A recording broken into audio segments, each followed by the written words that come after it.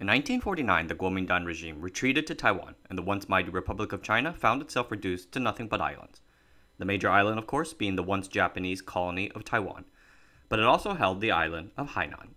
That state of affairs, though, would not last for long. A year later, in 1950, the Communist Armed Forces, the PLA, crossed the narrow Hainan Strait and annihilated the Kuomintang regime there. The survivors narrowly escaped to Taiwan, watching their comrades get gunned down on the docks. 33,000 men died in the battle. Hainan Island has been a part of the People's Republic ever since. I've always been fascinated by Hainan and its parallels with Taiwan. Physically, the two islands have much in common. They're seemingly sisters. They're about the same size and share the same climate. Geologically, they share massive mountain ranges and long plains. They both have large Han majority populations, Hainan with some 9 million and Taiwan 23, and the Republic of China held on to one, but ended up losing the other. And today, one is unquestionably a member of the PRC, and the other isn't. In 1950, after Hainan fell, everyone thought that Taiwan itself would collapse, and that everyone included the United States. But no invasion would come, and the Republic of China and its ruling Kuomintang party continued along across the Taiwan Strait. And that's where we find things 70 years later.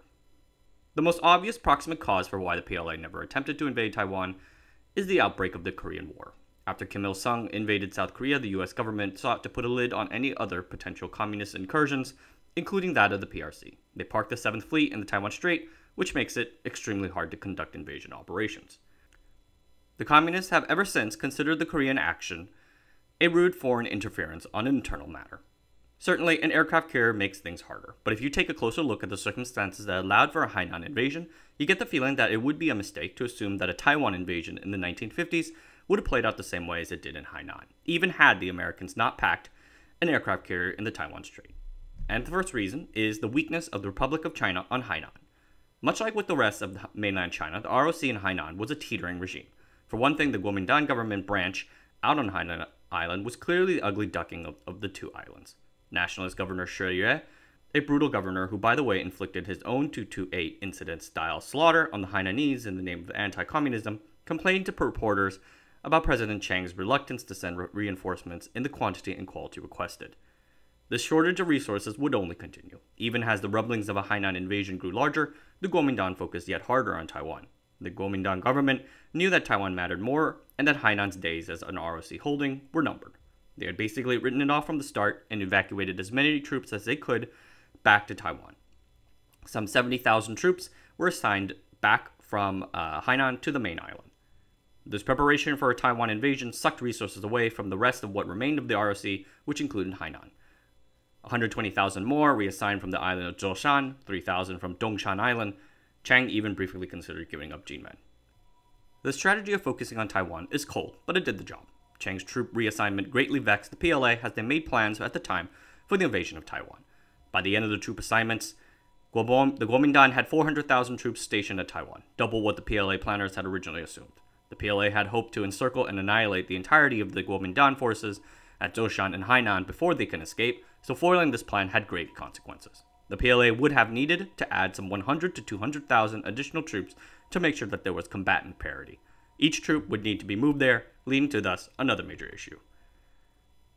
Hainan and Taiwan are islands. Troops can't walk on water, so they need to be transported, adding a new layer of difficulty. The PLA very publicly lost the Battle of Jinmen, a much smaller scale island battle, but they learned fast for Hainan. 318 junks carrying a large PLA landing force succeeded in avoiding nationalist bombardment, successfully standing, landing on the north and west coast of Hainan in April. There, they joined with the insurgent Hainan guerrillas to launch attacks on the nationalists. Once landed, the island only took us seven days to conquer. The PLA had made, and has, made a lot of hay of the success of the Hainan invasion. It's a mark of pride for them, and they pointed it as proof that they can successfully pull off an amphibious invasion. Their propaganda glorifies their soldiers' achievements, and you could essentially call it their D Day.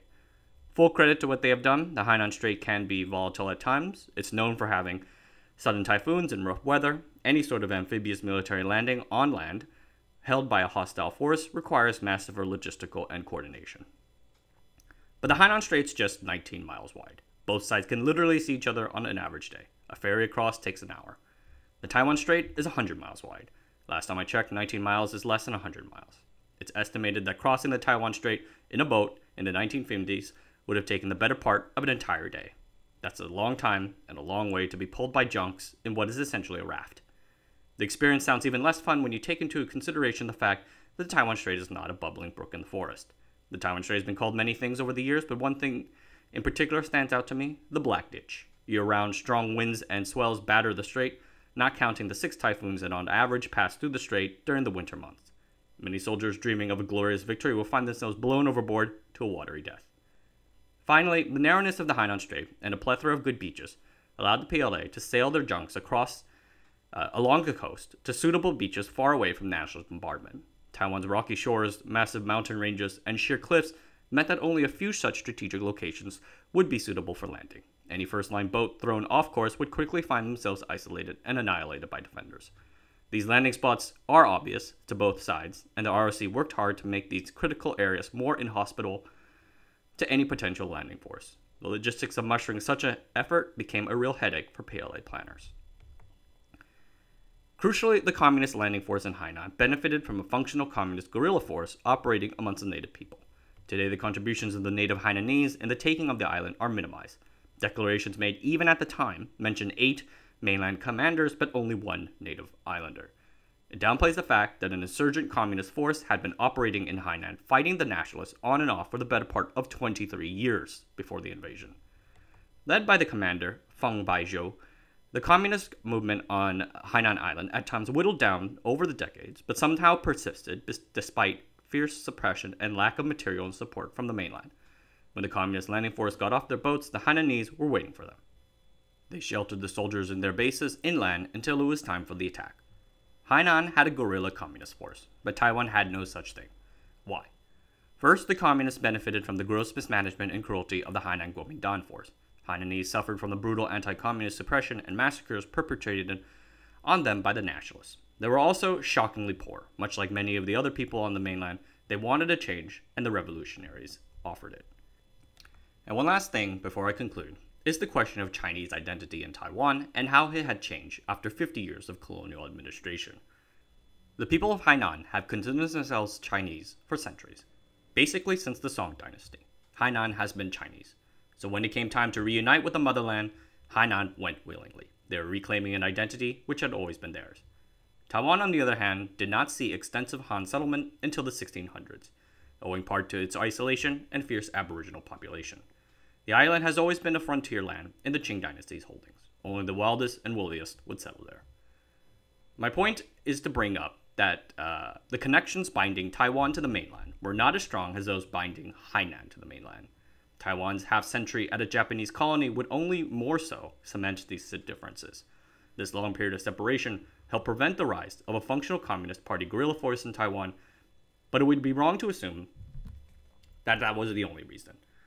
In the end, you had a, a large variety of reasons, which would include the intimidating 100 mile Taiwan Strait, the Kuomintang determined to favor Taiwan's defense over Hainan's, the Korean War with the United States interference.